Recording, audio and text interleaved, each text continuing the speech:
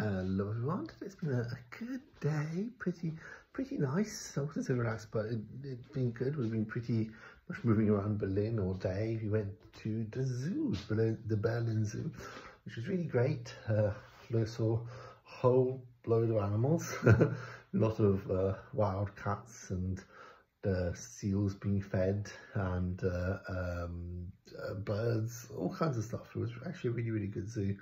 Uh, Denmark seemed very happy, which was good. It's nice to see that. Um, so yeah, we did that, which was really nice, and kind of came back, made some tiramisu for tomorrow evening, which uh, is going to be good. Um, what else did we do? I don't think really we've done too much.